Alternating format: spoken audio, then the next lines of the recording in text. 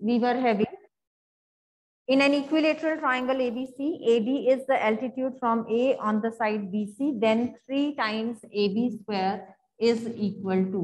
इसका बुक का ही था आपका क्वेश्चन तो this is equal to four times A D square altitude का फोर टाइम्स होता है बिकॉज़ यू नो कि जब आप एल्टीट्यूड लेके चलते हो अकॉर्डिंगली तो that is root three by two into side तो जब आप स्क्वायर्स की फॉर्म में उसको लेके चलोगे तो that will be three three A B square will be four times A D square then जो आपका क्वेश्चन नंबर फोर्टी था दैट वाज अगेन जो है वो आपका रिज़ल्ट था बुक का.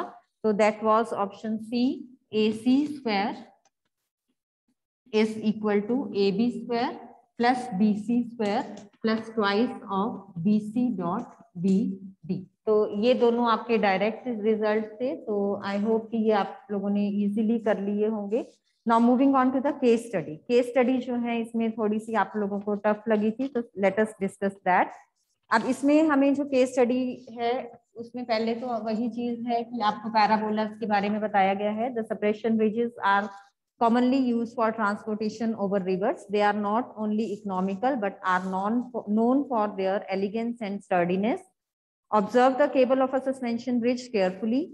Isn't the curve traced by the cable looks like a familiar one? You will find a similar curve when a batsman hits a ball for a six. हमें जो है जो curve given था वो this kind of curve था तो ये आपको पता है this is a curve of a parabola. तो cable question number 41 आपका यही था. The cable in the above figure between the towers P and Q is in the form of ये आपका पी पॉइंट था, ये आपका क्यू पॉइंट था तो this is in the form of a parabola तो ऑप्शन बी आपका answer बनना था क्वेश्चन नंबर फोर्टी वन का.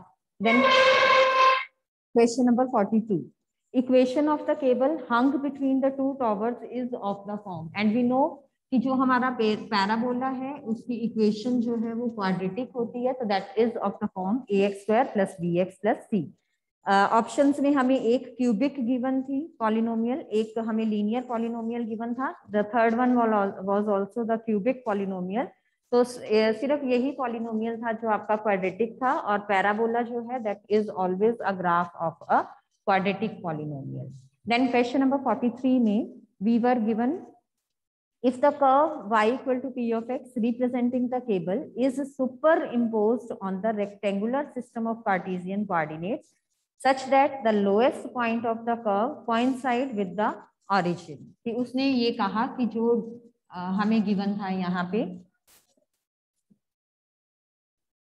curve जो है that is representing the cable is that is superimposed on the rectangular system of Cartesian coordinates such that lowest point of the curve intersects coincides with the origin यानी कि इसका जो है lowest point वो origin के साथ अगर intersect करता है then what what will be the number of zero अब क्योंकि ये एक्स एक्सिस को एक पॉइंट पे टच कर रहा है so the number of zeros will be one तो वन जो है आपका आंसर आ जाना था।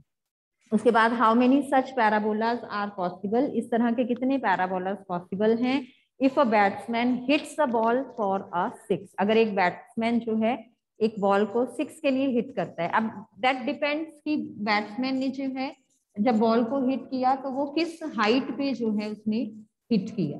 मान लो कि उसका इस हाइट पे भी जा सकता है, इस हाइट पे भी मूव कर सकता है, इस हाइट पे भी मूव कर सकता है। You would have seen this graph जब आप क्रिकेट मैच देखते हो तो ये आपने देखा होगा। डिपेंडिंग ऑन कि उसका मैक्सिमम क्या हाइट गई उसके अकॉर्डिंगली जो है पैराबोला आपका चेंज हो जाएगा। तो we can have infinite such parabolas then question number forty five इसमें काफ़ी बच्चों की गलती थी। क्वेश्चन नंबर फोर्टी फाइव में वो क्या कह रहे हैं? If the deck is made to coincide with the X axis and a vertical line perpendicular to it and passing through the lowest point of the cable is taken as the Y axis then the number of zeros of the polynomial p of x is अब इसमें उसने क्या कहा कि अगर हम deck को now you can see from here deck जो है वो आपका दिस इज़ दिस पॉइंट अब इस डेक को, यानी कि इस लाइन को अगर आप एक्स एक्सिस के साथ कॉइंसाइड कर दोगे तो आपका जो पैराबोला है that will not touch the X axis क्योंकि इनके बीच में ये गैप है, ठीक है? तो जब आप म्यूट कर लो अपने आप को मान्यता म्यूट योर सेल्फ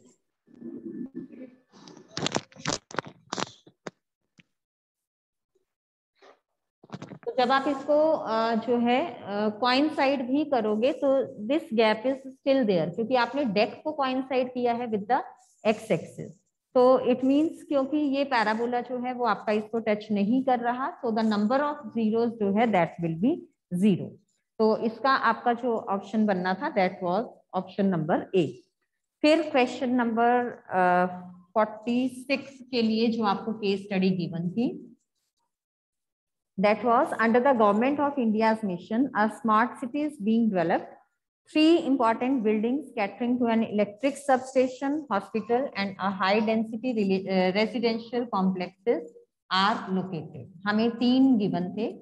Uh, एक था हमें given की uh, electric substation given है that was given at the origin. तो उसके coordinates हमें zero zero given थे. मैंने E S short लिख दिया इसका electric substation के लिए. देन बी पॉइंट पे हमें गिवन था that was the hospital nine comma nine था इसके coordinates and then third point twelve comma five पे हमें रेजिडेंशियल कॉम्प्लेक्स गिवन क्वेश्चन में हमें उसने क्या कहा? The two straight roads from O and B and B to C are operational. ये पॉइंट आपका B है, ये पॉइंट आपका C है. Two straight roads from O to B and B to C are operational ये दो roads चल रही हैं. No direct road from O to C exist as it was not not planned O से C तक कोई भी डायरेक्ट रोड नहीं है। तो इट मींस ओ से अगर हमें सी तक जाना है तो पहले हम ओ से बी पे जाएँगे, फिर हम बी से सी पे जाएँगे। हम डायरेक्ट ओ से सी पे नहीं जा सकते as no road was plan for this अब based on the above information answer the following question question number one हमें गिवन था, Manyata mute otherwise I will remove you from the meeting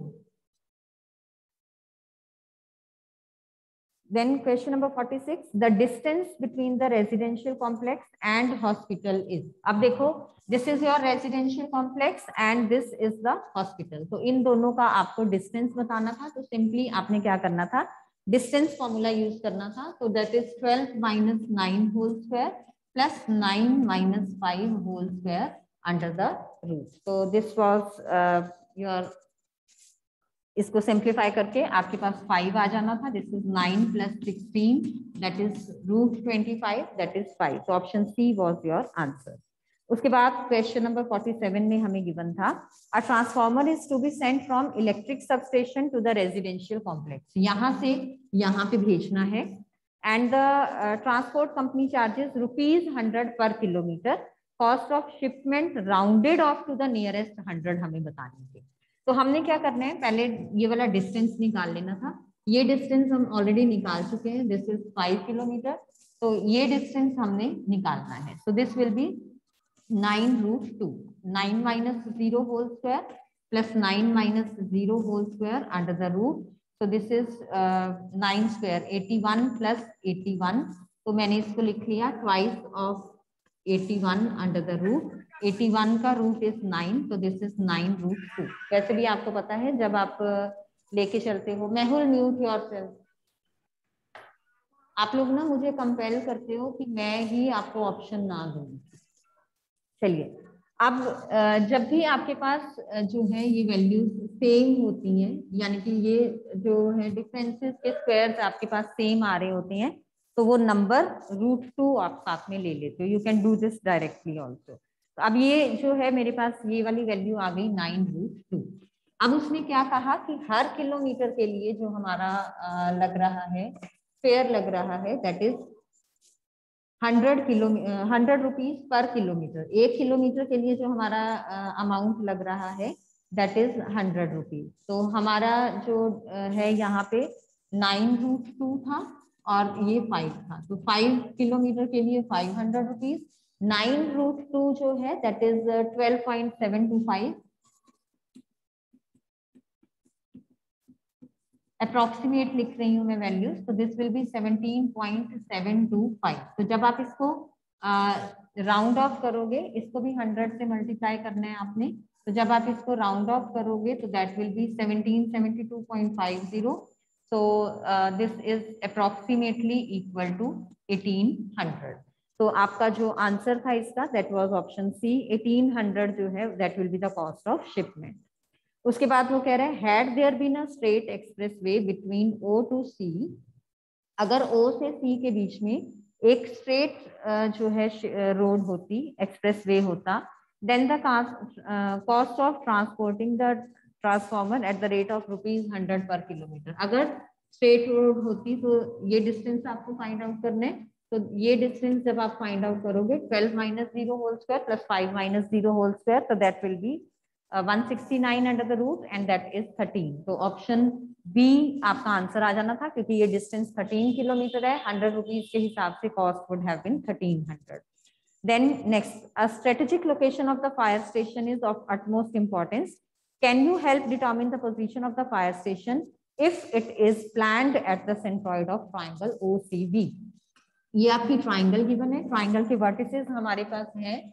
और उसने क्या कहा कि it is planned at the centroid of the triangle तो centroid of the triangle का हमें फॉर्मूला पता है। That is x one plus x two plus x three by three y one plus y two plus y three by three तो simply हमने क्या करना था? इनके सभी कोऑर्डिनेट्स को ऐड करके divide by three so zero plus nine plus twelve that is twenty one by three यानी कि सेवन हो गया ये आपका। एंड वाई कोऑर्डिनेट को जब आपने ऐड किया nine plus five fourteen by three तो seven comma fourteen by three is your answer तो ऑप्शन सी जो है आपका आंसर था इसमें then question number fifty if the fire engine is at residential complex fire engine जो है वो यहाँ पे है. How much time in minutes will it take to reach the hospital at a uniform speed of 70 kilometre per hour यहाँ से इस point पे पहुँचने के लिए इसको कितना टाइम लगेगा? वन आवर में वो कितना डिस्टेंस ट्रेवल कर रहा है? सेवेंटी किलोमीटर कर रहा है तो उसको डिस्टेंस कितना ट्रेवल करना था? फाइव किलोमीटर तो वो आपको निकालना था। एनी वन ऑफ़ यू हाँ जी you can unmute yourself and tell me how to do this last question है ये हमारा सेट ए का। हमें 70 किलोमीटर पर आर की स्पीड पे दिया है कि वो मूव करे। तो कितना टाइम वो लेगा to reach at the hospital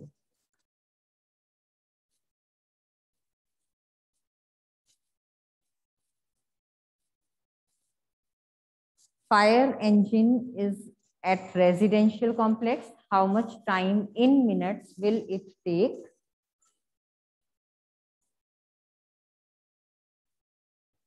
देखो 70 की स्पीड पे वो मूव कर रहे हैं। फाइव किलोमीटर डिस्टेंस उसको ट्रेवल करना है और मुझे मिनट्स में आंसर देना है कि कितने मिनट्स जो है वो लेगा। तो अगर वो आ, जो है हमें गिवन है 70 किलोमीटर ट्रेवल कर रहा है इन वन आवर यानी कि 70 kilometre distance it is travelling in 60 minutes one kilometre it will travel in 60 by 70 तो डिस्टेंस कितना है ये हमारे पास? फाइव किलोमीटर तो five kilometre distance it will travel unitary method simply आपको यूज़ करना था and you would have got your answer so this is thirty by seven minutes जो है आपका आंसर था. ऑप्शन ए जो है आपका आंसर था इसमें. Now moving on to set B set B में हमारे पास फ़र्स्ट क्वेश्चन था इफ़ टू पॉजिटिव इंटीजर्स जैसे सेट ए में था क्वेश्चन सेम उसी तरीके से था ये भी.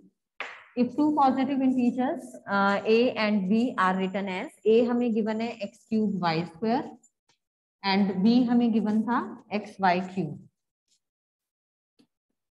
so we were to find out the HCF of twice of a and twice of b so two times हमने इनका निकाल लिया यहाँ ध्यान रखना है जो भी नंबर यहाँ होगा तो वो आपको लेके चलना है अकॉर्डिंगली अब यहाँ पे हमें क्योंकि एच फाइंड आउट करना था तो एच का मतलब we are to take the common factor with lowest power to यहाँ पे है टू टू यहाँ पे है तो टू लिख लिया।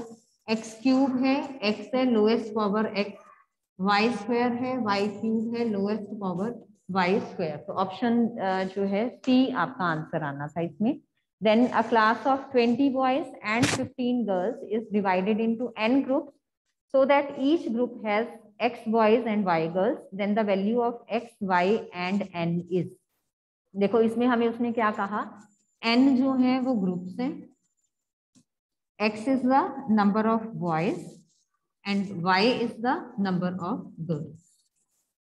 अब जो बॉयज़ हमें गिवन है क्लास में वो ट्वेंटी गिवन है गर्ल्स हमें गिवन है जो वो फिफ्टीन गिवन है हमने क्या करना है इनको एन ग्रुप्स में फाइंड आउट करना है तो एन ग्रुप्स में फाइंड आउट करना है इट मींस हम जो इतने number of boys and girls हमें गिवन है, उनका क्या फाइंड आउट कर लेंगे? We will find out their H C F twenty के factors two into two into five fifteen के factors three into five common factor is five तो इनका एच सी एफ़ आ गया फाइव यानी कि क्लास जो है that will divided into five groups अब उसके बाद उसने क्या कहा? Each group has x boys and y girls her group में एक्स बॉयज़ हैं।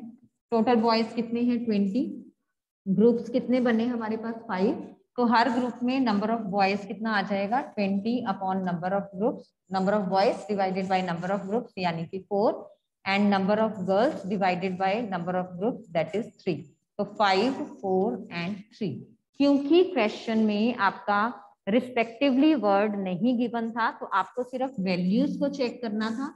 ऑप्शन में चाहे वो आपको थ्री फोर फाइव गिवन होता, चाहे फोर फाइव थ्री गिवन होता, चाहे फोर थ्री फाइव गिवन होता रिस्पेक्टिवली वर्ड ना होने की वजह से आपको सिर्फ़ वैल्यू से कंसेंट्रेट करना था। अगर क्वेश्चन में आपको गिवन होता value of x y and n respectively फिर आपका आंसर जो है वाई एक्स के लिए फोर पहले आना चाहिए था देन आपका three and then five four three and five but respectively नहीं था तो फाइव फोर थ्री ऑप्शन को आपको चूज़ करना था option D was your answer उसके बाद exponent of seven in prime factorization of 441 का square.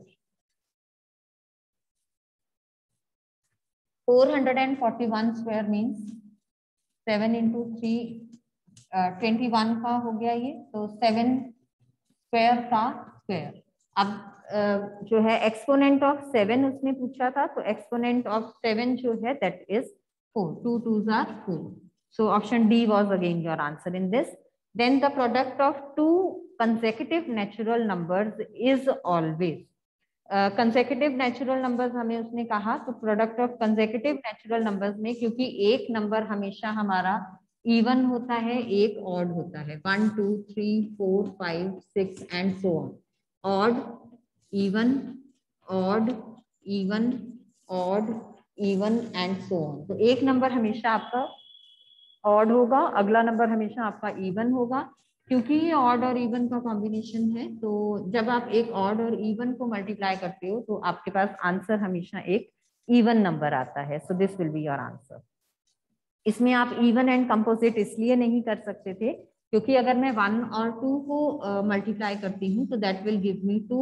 which is not a composite number तो ऑप्शन डी जिन्होंने मार्क किया था उनका आंसर गलत था Now the next one, if a pair of linear equations is consistent, pair of linear equations आपको पता है consistent है, so it means it will be having a solution. If it is having a solution, so either the lines will be intersecting or the lines will be coincident. So option C जो था वो आपका answer था. Then question number six में हमें given था the relation between the coefficients of equation for which the pair of linear equations have an infinite number of solutions तो again ये भी डायरेक्ट रिज़ल्ट था हमारा infinite number of solutions means lines are coincident तो a one upon a two equal to b one upon b two equal to c one upon c two then next lies on the line represented by 3x minus 2y is equal to 9 then the value of m is. अब कोई भी point अगर line के ऊपर लाई कर रहा है it means वो पॉइंट उस लाइन की इक्वेशन को सेटिस्फाई करेगा। तो this is three into minus five minus two into m equal to nine minus fifteen minus two m is equal to nine minus two m is equal to twenty four तो m is equal to minus twelve तो option B जो है वो आपका answer था. Then the difference between a two digit number and the number obtained by interchanging the digits is 45 हमें given था यहाँ पे एक टू डिजिट नंबर और उसके डिजिट्स को इंटरचेंज करके हमें जब वो मिलते हैं तो उनका जो डिफरेंस हमने लिया that is 45 find the difference between the two digits of a number तो x और y हमने यूनिट प्लेस और टेंस प्लेस वाले डिजिट्स मान लिए। तो जो ओरिजिनल नंबर बना मेरा, वो टेन वाई प्लस एक्स है। रिवर्स नंबर जो हमारा बना that is ten x plus one अब नंबर ओरिजिनल वाला और रिवर्स्ड वाला, दोनों का जो डिफरेंस है वो हमें गिवन है 45 so this is 10y plus x minus 10x minus y equal to 45 9 uh, y minus 9x is equal to 45 9 से डिवाइड करने पे y minus x is equal to 5 तो डिफरेंस ऑफ़ द डिजिट्स जो है that is equal to 5 then if 1 comma 1 is the midpoint of AB and point B हमें given है तो coordinates of point A हमें निकालना था तो मिड पॉइंट फॉर्मूला आपने यहाँ पे यूज़ कर लेना था वन कॉमा वन जो है, ये मिड पॉइंट गिवन है. पॉइंट बी के कोऑर्डिनेट्स आपको फोर कॉमा थ्री गिवन है. ए के कोऑर्डिनेट्स हमने मान लिए एक्स कॉमा वाई तो सिंपली आपने यहाँ पे मिड पॉइंट फॉर्मूला यूज़ करना है. मिड पॉइंट फॉर्मूला यूज़ करेंगे तो what we will have x plus four by two is equal to one and y plus three by two is equal to one यहाँ से आ गया आपका x is equal to minus two and यहाँ से आ गया y is equal to minus one तो आपका minus one comma minus two जो है वो आंसर बनना था। Minus two comma minus one x minus two है वाई माइनस वन है। तो ऑप्शन सी जो है वो आपका आंसर था। देन नेक्स्ट हमें गिवन था if root three tan theta is equal to three sine theta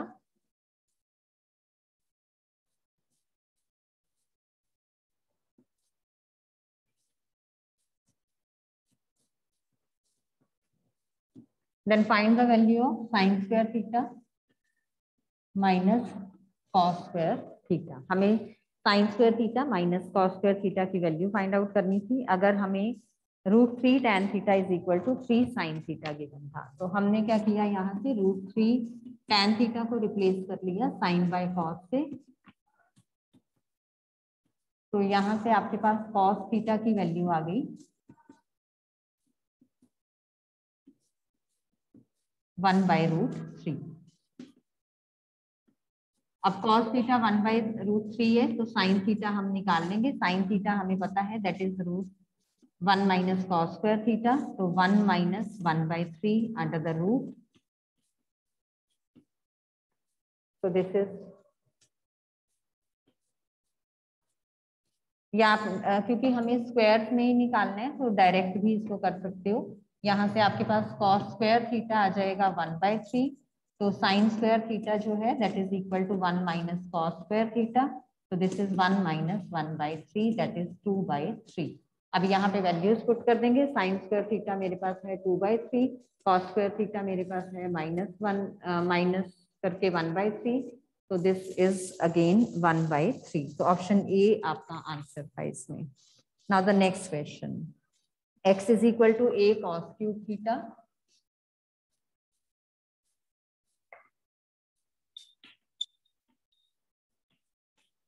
Y is equal to b sin cube theta. और हमें वैल्यू फाइंड आउट करनी है. X upon a raise to power two by three plus y upon b raise to power two by three equal to k we are to find the value of twice of k two k की value हमें निकालनी थी. तो इसके लिए अब हम देखो क्या करेंगे। यहाँ से अगर मैं लू तो x बाई ए मेरा आ गया कॉस क्यूब थीटा और यहाँ से आ गया y upon b equal to sine cube theta तो x बाई ए को हम कॉस क्यूब से रिप्लेस करेंगे। y बाई बी को हम साइन क्यूब से रिप्लेस करेंगे। पावर टू बाई थ्री तो थ्री से थ्री कैंसिल आउट हो गया। We are left with cos square theta plus sine square theta तो cos square theta plus sine square theta that is equal to one तो k की value आ गई one हमें वैल्यू फाइंड आउट करनी थी टू के की तो that is equal to two तो ऑप्शन बी जो है आंसर था। हाँ जी बेटा।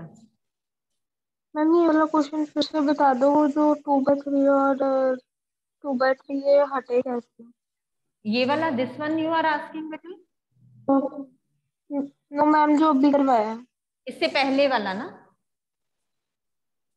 नो नो ये वाला x by over y by b this one eleven okay yes ma'am okay हमें इसमें बेटे गिवन था x is equal to a cos cube theta और y is equal to sine cube theta x a cos cube में है और y जो है that is b sine cube theta मुझे वैल्यू इसकी निकालनी है। तो अगर मैं इसको देखूँ तो x अपॉन a है y अपॉन b है। तो हमने क्या किया? x बाई ए की वैल्यू निकाल ली y बाई बी की वैल्यू निकाली। a यहाँ मल्टीप्लाई हो रहा था, इधर आके डिवाइड करेगा। b यहाँ मल्टीप्लाई हो रहा था, इधर आके डिवाइड करेगा। तो मेरे पास x अपॉन ए की वैल्यू आ गई, y अपॉन बी की वैल्यू आ गई। इस x बाई ए को मैंने रिप्लेस किया कॉस क्यूब थीटा से। Power two by three as it is फिर प्लस का sine as it is y upon b को हमने रिप्लेस किया। साइन क्यूब थीटा से और ये power two by three as it is equal to three अब cos cube into two by three जब आप करोगे तो थ्री से थ्री आपका, क्योंकि ऊपर नीचे है कैंसिल आउट हो जाएगा। ये बना। कॉस की पावर तो कॉस स्क्वायर थीटा रह गया। सेम वे में क्यूब और ये अपॉन थ्री कैंसिल आउट होके साइन स्क्वायर रह गया। अब ये हमारी आइडेंटिटी है cos square theta plus sine square theta that is equal to one but उसने हमसे क्वेश्चन में वैल्यू किसकी पूछी है? टू के की देन फाइंड टू के तो के को हमने टू से मल्टीप्लाई किया तो हमारे पास आंसर आ गया हमारा दैट इज़ टू तो ट्वाइस ऑफ़ के की वैल्यू आ गई हमारे पास two I hope this one is clear now now the next question okay बेटा. Question number twelve question number twelve बहुत सिंपल था आपका. हमें गिवन था one minus tan square forty five upon one plus tan square forty five degree अब tan forty five की अगर आपको वैल्यू पता थी तो you could have calculated this tan forty five हमें पता है दैट इज़ वन तो टेन की वैल्यू हमने पुट कर दी this is one minus one upon one plus one that is zero upon two so your answer is zero अब आपका answer zero direct value हमें नहीं गिवन थी यहाँ पे तो हमें ये पता है कि टेन नाइनटी जो है that is not defined cos ninety जो है दैट इज़ ज़ीरो तो ज़ीरो को आपने रिप्लेस कर देना था कॉस नाइनटी से, जो आपका आंसर था. Then next one theta is 1 then the value of sin to the power 4 theta plus cos to the power 4 theta. ये भी अगेन सिंपल था. Tan थीटा की वैल्यू मुझे 1 गिवन है. इट मींस थीटा मेरा कितना आ जाएगा? Tan कहाँ पे 40 वन होता है? That is 1 at 45 degree value किसकी निकालनी थी? Sine to the power 4 theta plus cos to the power 4 theta. Theta 45 आ गया, यानी कि sin 45 की पावर 4 प्लस cos 45 की पावर 4 अब sin 45 is one by root two cos 45 is also one by root two दोनों की पावर कितनी है? 4 1 बाई रूट को रूट टू को जब आप फोर टाइम्स मल्टीप्लाई करोगे तो root two into root two root two into two will give you two इनको जब फर्दर मल्टीप्लाई करोगे यू विल बी हैविंग तो इट मीन्स ये वैल्यू आ गई आपकी वन बाय फोर ये भी आ गई वन बाय फोर सम लोगे that is two by four cancel out करके one by two is your answer तो थर्टीन क्वेश्चन का option C was your answer then question number fourteen question number fourteen आपका previous वाले pre board में भी आया था. A card is drawn from a deck of 52 cards यानी कि टोटल इवेंट्स हो गई मेरे पास 52 the event e is that card is not an ace of heart ace of heart कितने होते हैं हमारे पास? That is one in number. यानी कि not an ace of heart हो गए बाकी के जितने भी कार्ड्स आपके बचे 52 माइनस वन दैट इज़ 51 तो उसने यही पूछा था number of outcomes favourable to E simply उसने नंबर ऑफ़ आउटकम्स पूछा था तो प्रोबेबिलिटी नहीं देनी थी। आपका आंसर 51 ही बनना था। जिन बच्चों ने 51 वन बाई फिफ्टी लिखा था दैट वाज रॉन्ग क्योंकि वो प्रोबेबिलिटी का आंसर था। उन, उन्होंने हमसे नंबर ऑफ़ इवेंट पूछा था। फिर क्वेश्चन नंबर 15 में हमें गिवन था। In a game a one rupee coin is tossed three times and the result is recorded each time one rupee coin जब आपका थ्री टाइम्स टॉस हो रहा है तो इट मीन्स कि आप three coins at a time toss कर रहे हो, फेंक रहे हो। तो थ्री कॉइन्स का आपका जो आउटकम है आपने सैंपल स्पेस जो है वो लिख लेना है। या तीनों एच होंगे, या एट अ टाइम एक आपका टी होगा, दो एच होंगे, या एट अ टाइम एक एच होगा, दो टी होंगे। या तीनों के तीनों आपके टी होंगे। तो टोटल जो इवेंट्स आपकी बनती हैं इस केस में वो एट होती हैं। अब उसने क्या कहा? Hanif will win if he gets at least two heads अगर कम से कम उसके दो हेड्स आते हैं देन ही विल विन तो एटलीस्ट टू हेड्स मतलब टू हेड्स या थ्री हेड्स ये वाले सारे केसेस हमने देखे तो थ्री हेड्स यहाँ पे टू हेड्स यहाँ पे टू हेड्स यहाँ पे टू हेड्स तो फेवरेबल इवेंट्स हो गई four divided by total number of events and your answer is one by two तो B option was your answer question number sixteen हम ऑलरेडी डिस्कस कर चुके हैं। सेट ए में भी था ये आपका।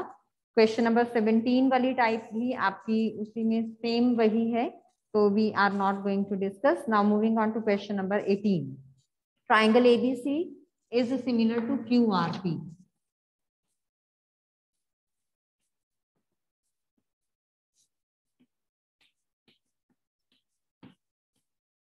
तो इसके अकॉर्डिंगली अगर मैं चलूँ A B upon Q R equal to B C upon R P equal to A C upon Q P अब एरियाज़ का रेशियो मुझे गिवन है।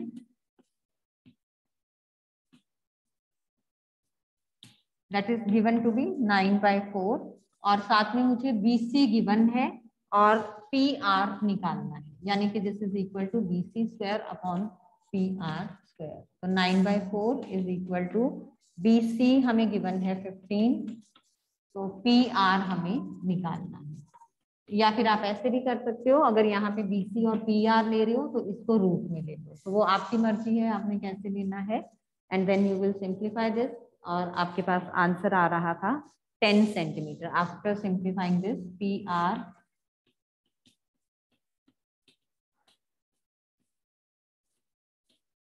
P R की हमारे पास वैल्यू आ रही थी टेन सेंटीमीटर उसके बाद question number nineteen if the area of two similar triangles are equal then the triangles are अगर एरियाज़ दो सिमिलर ट्राइंगल के इक्वल्स हैं तो इट मींस ट्राइंगल्स जो हैं वो कॉन्ग्रुएंट भी होंगी और सिमिलर भी होंगी. क्यों?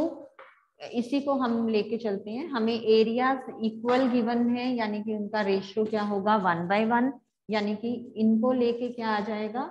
B C square equal to P R square यानी कि B C is equal to P R अब B C equal to P R यानी कि साइड्स का रेशियो भी वन बाय वन हो गया, यानी कि all the sides are equal और अगर उसमें all the sides are equal हैं सिमिलर ट्राइंगल्स में then they are congruent also तो कॉन्ग्रुएंट भी होंगी और सिमिलर भी होंगी। तो ऑप्शन 19 का सी पार्ट सी ऑप्शन जो है क्वेश्चन 19 का was your answer then question number 20 in a triangle the perpendicular from the vertex ये भी सेम सेट ए वाला क्वेश्चन है। तो इसका आंसर आपका वही था कि आइसोसलेस ट्राइंगल होगा अगर वो, उसको वन रेशियो वन में डिवाइड कर रहे हैं।